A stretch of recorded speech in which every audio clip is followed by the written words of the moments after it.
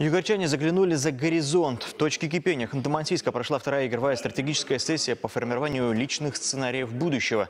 Напомню, первая состоялась в сентябре прошлого года. В конференции участвуют школьники, студенты и общественники региона. Перед экспертами стоит задача помочь молодым людям перейти от виртуального понимания происходящих в мире процессов к объективной оценке ситуации, а также скорректировать свое будущее с учетом вызовов времени.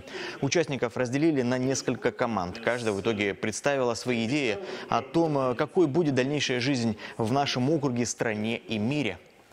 Это делается потому, что кому-то здесь, в Югре, это интересно. Это важно.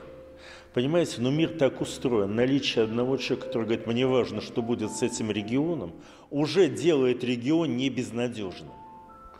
Потому что есть альтернативный вариант. Мне все равно, что здесь будет, лишь бы мне оттуда уехать. Так вот, проведение таких конференций означает, что у кого-то есть связь, как я здесь буду жить. Это принципиально.